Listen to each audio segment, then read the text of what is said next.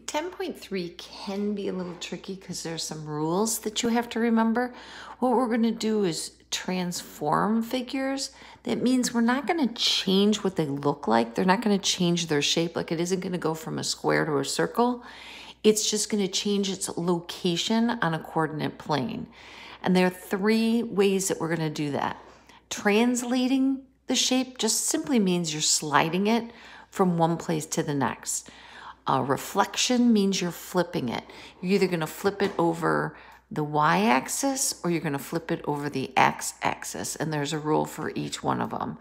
And then rotation means you're going to either take the figure, so if the figure is right here, you're going to rotate it counterclockwise or you're going to rotate it clockwise and, and make it in a different position.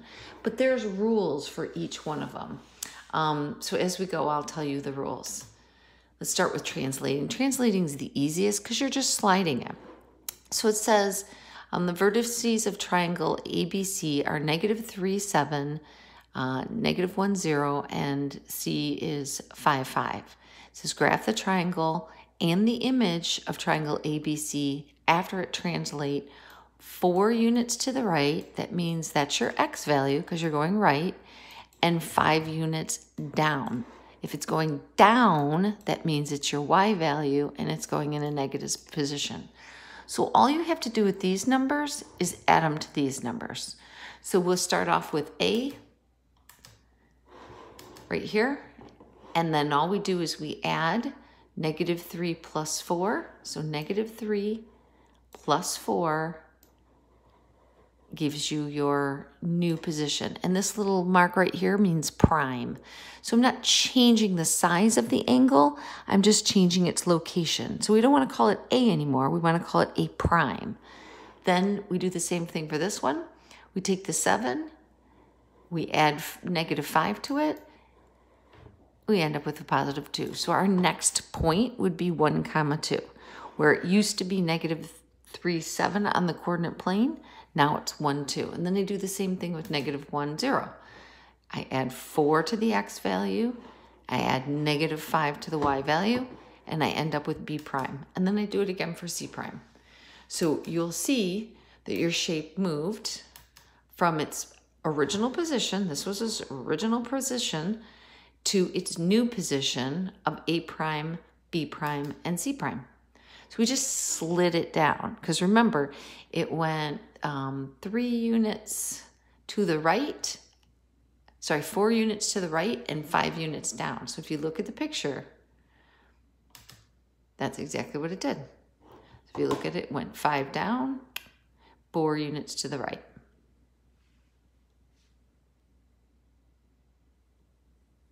Okay, then we do it again. This time we're going Three units left would mean negative three on your x value, two units up. Up means a positive two. So I'll start with D. And uh, so D is negative one comma five. I'm gonna add that to make its movement. So it'll end up with negative one plus negative three is negative four. Five plus two is seven. That's my new point. And then E would go from negative 3, 1 on the graph.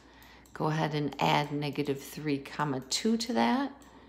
And I end up with negative 6 comma 3. And then F would go from 4 comma negative 4, add negative 3, and I would end up with 1 comma negative 2 for f prime. I forgot to write my primes in there. So this is d prime, e prime, and f prime.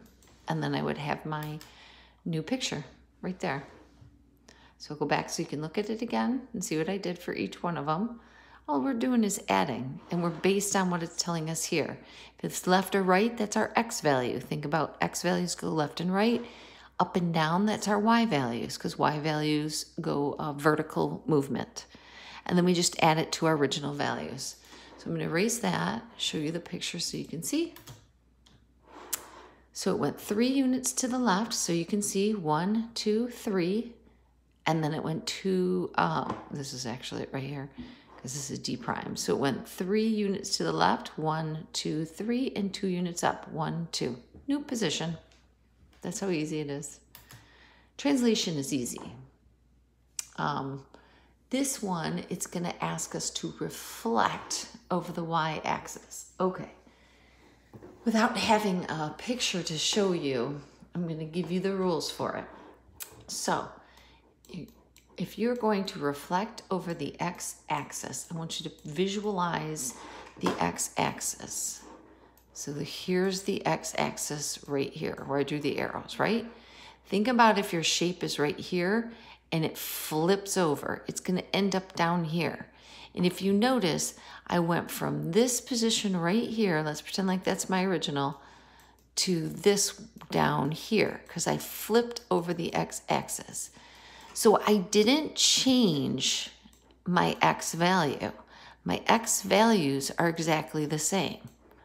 What changed is my y values, and it changed to be the opposite of what it was.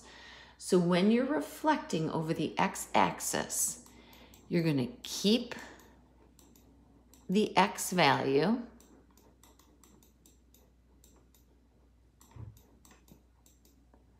and then you're going to take the opposite of the y value. So for this one, um, that's your x-axis. For your y-axis, if you're flipping over the y-axis, you're going to do the opposite of what we just wrote here. You're going to keep your y value Makes sense because you're going over the y-axis. And you're going to take the opposite of the x value. Okay? So this one I'm reflecting over the y-axis. So we're got m is being negative 8 comma 6. I'm reflecting over the y-axis. So m prime would be keep the y value take the opposite of that x value. So that would be your um, reflection over the y-axis, would be that one. Then I would go on to n prime, would be keep the y value, 9, take the opposite of the x value, would be negative 5, positive 9. O would be negative 2, 1, and P would be 10, comma 3. So again, here are your rules. It's pretty easy to remember. If you're going over the x-axis, keep the x value. If you're going over the y-axis, keep the y value and take the opposite of the other value.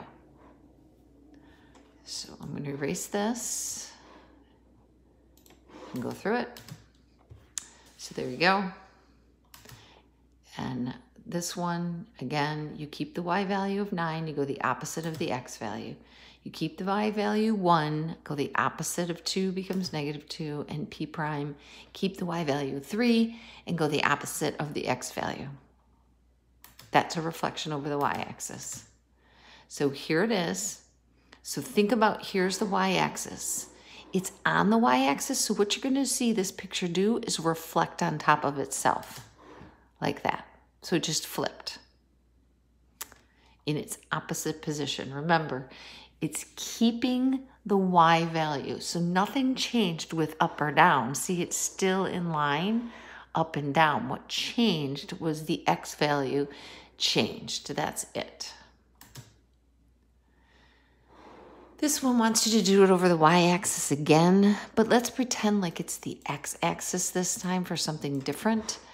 So if I wanted, if I'm at Q, I can write it right above here. Q prime would be keep the X, change the Y. Keep the X for R prime, change the Y. Keep the X, change the Y. Keep the X, change the Y. Those would be all of my new values if I was reflecting over the x-axis. Keep the x, change the y. This one wasn't changing or wasn't flipping over the x-axis. They were doing that y-axis again. So this is what it would look like if it went over the y-axis. A rotation. Okay, there's several rotations that we need to talk about. There's 180 degree rotations. Let's just talk about that one first. If you're rotating 180 degrees, the only thing you need to do is take the opposite of your x value and take the opposite of your y value. That's it. So this would become 4 comma negative 5. This would become 2 comma negative 4. 1 comma negative 2. 3 comma negative 1. And 5 comma negative 3. It's pretty easy. The hardest part is to remember which one goes with which one. So keeping it straight, the translating, all you're doing is adding or subtracting. Reflecting, you got to remember reflect over the x-axis, keep x, change y. Reflect over y-axis, keep y, change x to be the opposite. Rotating 180 degrees, both numbers change to be the opposite. So if you look at this rotation, there is a 180 degree rotation is going to put it in what quadrant do you think? Hopefully you said quadrant four. So we rotated all the way around. So it became, so where D was negative three, positive one, now it's positive three, negative one. So see the opposite. Okay. And then they're going to have you do another 180 degree rotation, but you really need to learn about 90 degree rotations. There's two 90 degree rotations. There's 90 degrees um, clockwise, and there's 90 degrees counterclockwise. Okay, so I want you to think about how they're going. So counterclockwise is going this way clockwise is going this way around, okay? And 90 degrees is only half of what the 180 degrees is doing. So when you go your 90 degree clockwise rotation, what you want, it's, it's going to be very different. And if I had a picture, I'd show you, but you're going to switch the coordinates and then multiply the new second by negative one. So I want you to think about going clockwise. So think about a coordinate grid and we're here. If we go clockwise, we're going down here like this and it'll be tall. So what you're gonna do is if you have two comma negative one, you have to flip them like that. And then you're gonna change this one to be the opposite. So you got to flip and switch. Flip and switch. If you're going counterclockwise, you're going to do the same kind of thing. Whoops. You're going to flip and switch, but this time you're going to switch this one. So both of them are flip and switch. Flip and switch. This one you flip and switch and change X. So counterclockwise, flip and switch and change X. Clockwise, you flip and switch.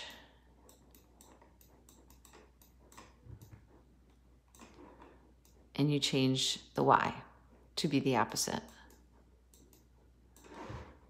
It's a lot to take in. So again, you have translate, simple. You just add or subtract based on if it tells you to move left or right or up or down. So then you have your reflection. When you're reflecting over your x-axis, you keep the x, change the y. When you reflect over the y-axis, you keep the y and change the x. When you rotate 180 degrees, you're just going to change both of them to be the opposite. The only time you flip the ordered pairs is when there's a 90 degree change. 90 degree clockwise, you flip and switch the y value. 90 degrees counterclockwise, you flip and switch and change the x.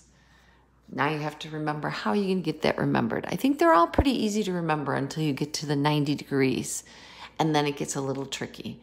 So it's about you figuring out the best way, like a little trick that's going to help you remember that. And that's it. It's a little bit more to that. You can find more information out in your book. I would also recommend that you could watch other videos um, to help you out, like Khan Academy.